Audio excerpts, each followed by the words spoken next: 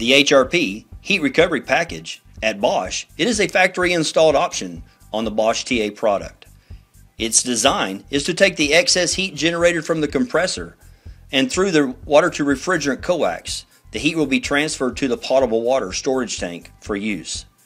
The internal electrical schematic will show a 240 volt circulator, a 140 degree hot water limit, and a combination on off 1 amp circuit breaker switch. The use of the HRP in the summertime will increase the efficiency of the equipment.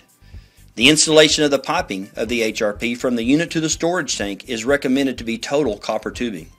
The industry will want to run flexible PEX style line. In this case, Bosch recommends that the first 14 inches of the water out of the unit to be copper tubing. All tubing will never need to be smaller than the diameter of the water connections on the equipment. Please insulate the piping as needed. The installation manual of the HRP will show upon commissioning the water circuit must be void of air. You can do this by the air release valve inside the unit.